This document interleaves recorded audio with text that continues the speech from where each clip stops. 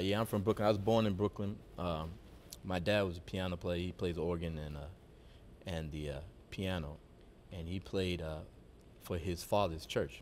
My grandfather, who was a bishop in a uh, Episcopal African Episcopal church in Brooklyn that Marcus Garvey Oh, started. Yeah, exactly. And uh, my grandfather was a bishop, and my father was the uh, organist. And my father would switch off with his cousin on alternate Sundays, and his cousin was Wynton Kelly, who you, who you guys know. So, um, you know, one Sunday my father played, the next Sunday Wynton would play. Wynton couldn't read music or anything, so he would just learn the service by, by ear. And he was always jealous of my father, who could read. And my father was always jealous of Wynton because Wynton could play anything he wanted. You know? So um, anyway, yeah, I grew up in Brooklyn, and then we moved to Queens later on, and uh, this was the '70s. So the big music at the time was R&B, like funk, Sly and the Family Stone, and all that stuff. And I was really into that. And I went to music high school. You lived in Brooklyn. You was in the rock and roll. No, it wasn't- it was like more like funk. It was more like James Brown and that stuff, you know. Then um, I went to high school and I met a drummer whose name is Kenny Washington, right? And he was my age, but he walked around like he was 45 years old in high school. You know, he was only he didn't mess around. He was only into into jazz, and he said to me, "You're talented, and you need to take it to the next level because all the best musicians they play jazz." I love music. I wanted to be one of the best musicians, so I said, "Well, teach me." He lived all the way out in Staten Island. So I would go on Sundays, every Sunday from Queens to Staten Island. It took about two and a half hours. I had to take a bus, a train for an hour, a ferry, and then another bus to get to Kenny's house. But when I got to his house the first day, he played me King Oliver. And that whole day, he just took me all through the whole timeline of jazz, right up into the 70s.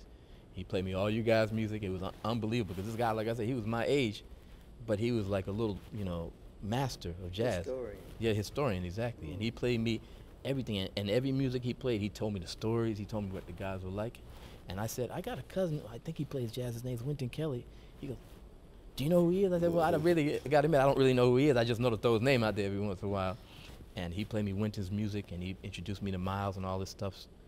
I went home and went in my father's record collection and, and discovered this whole thing was right under my nose. So the rest of my life really was just trying to combine the, the two things I love, which was that funk music that I first got introduced to, and this jazz music that's such an incredible music. And um, I got started in the studios in New York. I was in the house band at Saturday Night Live. I met a lot of musicians there. I met Luther Vandross and Roberta Flack and David Sanborn. And uh, Miles had been in retirement from about 75 through 81. And this period I'm talking about for myself was 81 when Miles came back into, uh, he decided to come out of retirement. And he was trying to put together a band, and somebody gave him my name, said, You should call this young kid. And I came in there, and, uh, you know, you know how Miles is. I- got a phone call. I said, Hello. He said, It's Miles Davis. Can you be at the studio an hour? I was like, Where? He said, Columbia. So it was great. I didn't have time to, to flip out or get nervous or anything. I just had to get to the gig. And uh, he asked me to be in his band, and um, I played in his band for a couple of years, and then later on I started writing music and producing for him. So uh, the biggest thing that I remember when I first met him was that I thought he was at least like six five, six seven, because he was Miles Davis. And when I met him, he was like five, six, you know what I mean? However, you know, he was, Like Jimmy he was- he's a little guy, you know what I mean? So, you know, it's amazing how, um, Little man with a big sound.